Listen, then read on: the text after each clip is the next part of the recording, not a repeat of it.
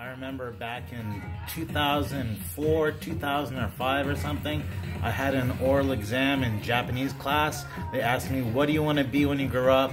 And I didn't know the word for it. I wanted to be an astronaut. So I asked them, uh, uh, astronaut wa Nihongo de nanto imasu ka? And they said, like, uchujin guru, something like with weird. Now, I got it wrong like three times in a row, and they they were so patient with me because I have like very limited vocab recall ability. Right now, I'm watching this show that seems like it was tailor made for me called Space Dandy. Um, it's Shinichiro Watanabe, the same guy that did Samurai Champloo and Cowboy Bebop, and uh, man, it's good. First season's so good, but don't watch the second season or you'll want to break up with it because it's so goofy. Um, first season though, mwah, perfect.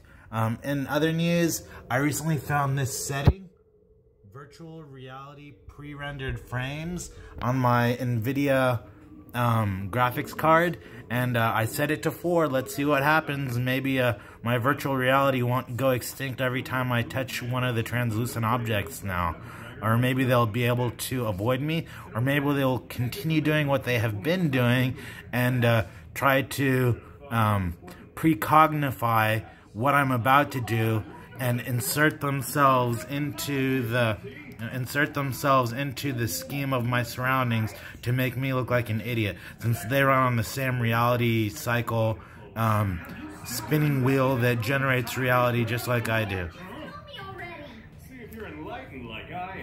I like the Japanese with subtitles, but I'm gonna rewatch it with the English. Let's see how it goes. Oh wow. You missed booties.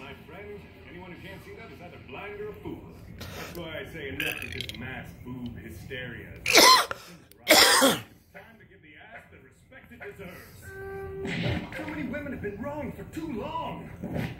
Like poor Agnes Lum, objectified only for her boobs. It's a crime, I tell you. I don't know who that is. I love this show.